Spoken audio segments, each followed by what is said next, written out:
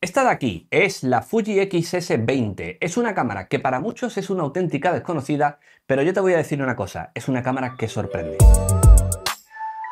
Bueno, ya sabrás que Fuji tiene un catálogo bastante extenso de cámaras y propuestas como por ejemplo la familia XT con la XT5, XT50, XT4, son cámaras muy conocidas por sobre todo ese diseño retro que tanto gusta. Luego está la otra familia también muy popular, la de las X100, con la X105 y X106 como máximo exponente de cámara viral.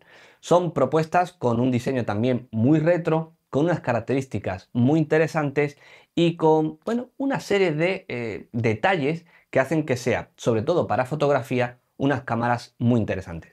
Pero luego están propuestas como esta. Esta es la XS20 y créeme que es una cámara muy desconocida. La serie XS se podría decir que es una cámara que igual no apela a ese diseño tan retro, aunque tiene un diseño muy atractivo, pero sí que son cámaras muy cómodas y sobre todo con una serie de prestaciones más que interesantes. Para empezar, a nivel de diseño, esta es la camarita. Este cuerpo tan pequeño es toda la XS20, pero sin duda alguna lo que más llama la atención, aparte del peso y que es muy compacta, es su empuñadura. Una empuñadura que permite un agarre muy cómodo, y ojo que esto es muy importante, y además utilizar la última batería de Fuji, una batería que tiene una gran autonomía y que te va a permitir utilizar la cámara pues prácticamente todo el día con una o dos baterías de estas. Luego a nivel de controles, en la parte superior tenemos diferentes ruedas, ruedas que además se pueden personalizar para ajustar el parámetro que nosotros queramos y eso nos permite trabajar de una forma muy cómoda. En la parte trasera encontramos un pequeño joystick que me parece todo un acierto para moverse por los menús, para enfocar y demás, y luego una pantalla abatible.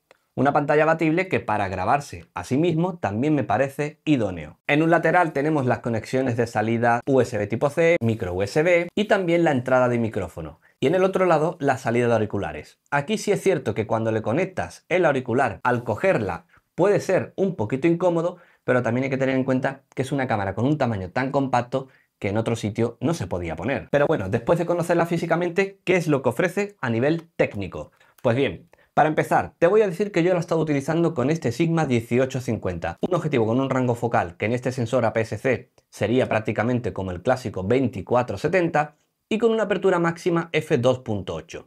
Pues bien, a partir de aquí, esta cámara tiene un sensor APS-C con una resolución de 26 megapíxeles, para fotografía funciona muy bien. Además, la ciencia de color de Fuji es muy buena. La emulación de películas es de por sí más que interesante y el uso de receta es lo que hace que a nivel creativo esta cámara sea una auténtica locura. Pero es que luego en vídeo también tenemos unas características muy interesantes. Para empezar, un sistema de autoenfoque que funciona muy bien. Es cierto que en momentos puntuales puede que haya que cogerle el tranquillo, pero normalmente cuando detecta una cara no la suelta. Pero lo mejor de todo es que es una cámara que te permite grabar vídeo a resolución 6K a 30 frames por segundo. Lógicamente, si le bajas la resolución, vas a poder subir el número de fotogramas por segundo, consiguiendo así cámara lenta muy llamativa. Con todo esto, esta Fuji XS20 para tema de fotografía y de vídeo me parece una cámara súper ideal.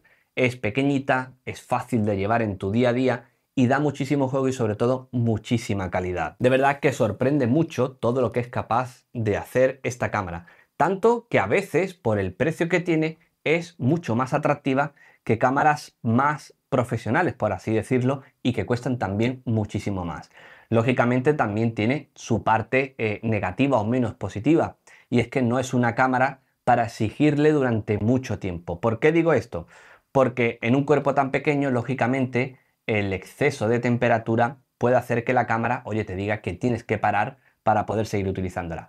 Pero eso es cuando haces una grabación muy prolongada durante mucho tiempo y en situaciones muy concretas. Aún así, Fuji ha pensado en eso y en esta parte trasera tenemos dos tornillos para colocarle el ventilador de la propia marca o uno compatible y así conseguir tiempos de grabación mucho más prolongados. Pero créeme que eso es en situaciones muy particulares, en situaciones donde realmente utilizaríamos otro tipo de cámaras, como por ejemplo las de Blackmagic, la Canon C80 y similares.